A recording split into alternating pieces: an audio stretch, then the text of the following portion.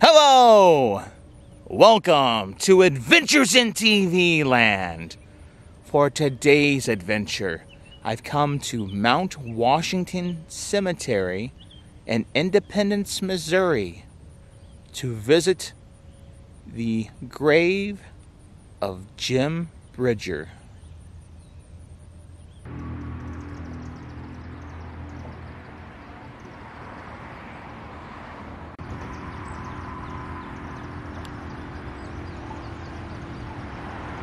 Now here are the gates into the Mount Washington Cemetery.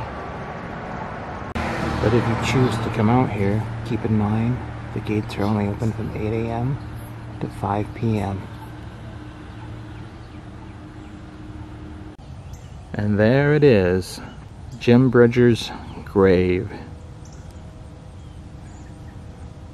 James Bridger was a famous mountaineer, and I first learned of him through my parents because I was raised, we grew up, we watched a lot of westerns, we watched, learned a lot of American history, and James Bridger was one of those characters that we just learned about growing up.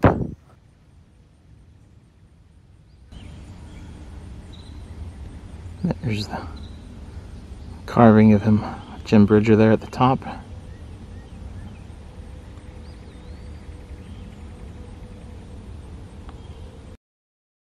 And here is the inscription here at the bottom.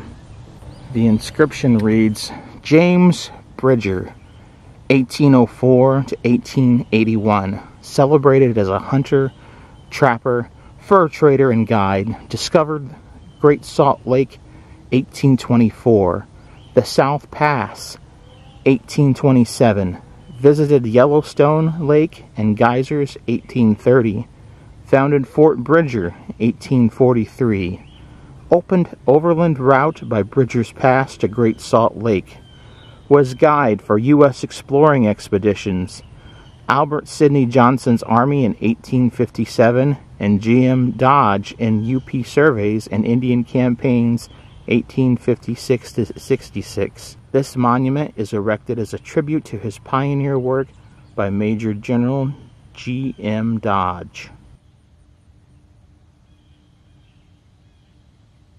Now, if by chance you are going to come out here to the cemetery, to Mount Washington Cemetery to see Jim Bridger's grave, I have to let you know that the cemetery right now, and probably for the foreseeable future until enough funds are raised, is kind of split in two. Uh, and I will show you that in a minute here. So you will need to come to the, the side of the cemetery where his grave is actually on. I, believe it is the, when I passed by earlier, it is the smaller of the two entrances you will need to enter from. And you can come here and visit Jim Bridger's grave. Now there used to be a bridge right here that connected one side of the cemetery. There's a ravine, a gully. Got the bridge crossed right there. And I'll show you here in a minute, but the bridge was washed out in 2014. Got barbed wire around there to keep people out.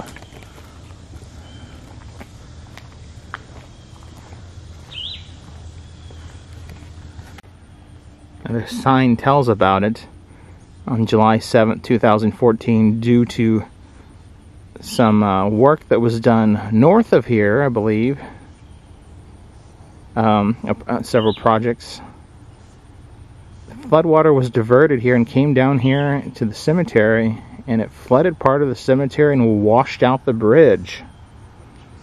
And the cemetery, they've been, you know, they did a bunch of studies, paid have things done, but due to government regulations and things that like that, it has been just the government decided that they could not rebuild a bridge right here. They'd have to build it at a different location here, and not only that, uh, you know, it'd have to withstand a hundred-year storm. That's what they call it. So capable of lasting for about a hundred years, roughly. And right now, um, they do not have the funds to do that at all. So you can still visit the other side of the cemetery, you just have to come in from the other entrance.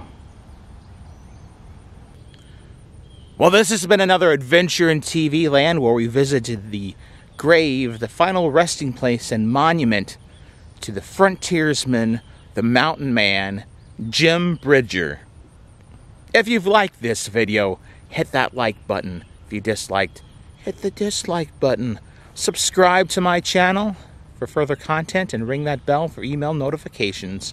And if there's some place that you would like to see me visit, or you have a suggestion about some future video you would like to see me do, leave a comment in the comment section. And if you've enjoyed this adventure or any of the adventures in TV land, you can help support this channel by going to either Buy Me a Coffee or Patreon and making a financial donation there, or becoming a member at either one of those two places. You could also hit the Super Thanks button below and help support the channel that way as well. Thank you for watching. Until next time, that's a wrap.